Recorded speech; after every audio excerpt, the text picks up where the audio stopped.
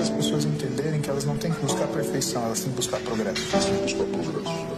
Porque enquanto você estiver progredindo, isso é mais do que perfeito.